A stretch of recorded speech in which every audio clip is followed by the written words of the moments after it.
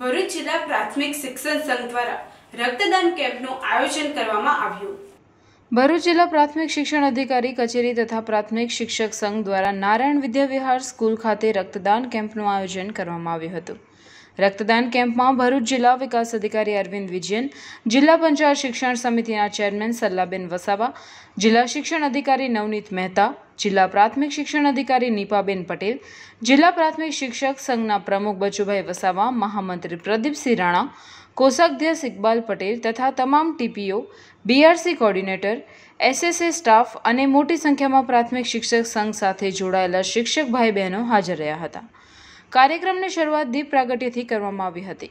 આ પ્રસંગે ઉપસ્થિત અધિકારીઓ તથા પદાધિકારીઓએ રક્તદાન સાથે નેત્રદાન અને અંગદાનની અપીલ કરી હતી અને શિક્ષકોને પ્રોત્સાહિત કર્યા હતા.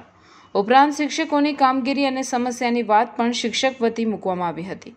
શિક્ષકો હર હંમેશ આપતીની પરિસ્થિતિઓમાં ખભે ખભા મિલાવી સહકાર આપે છે એવો સૂર પણ વ્યક્ત થયો હતો. રક્તદાન કેમ્પમાં કુલ એકસો ચૌદ બોટલ રક્ત એકત્ર કરવામાં આવ્યું હતું.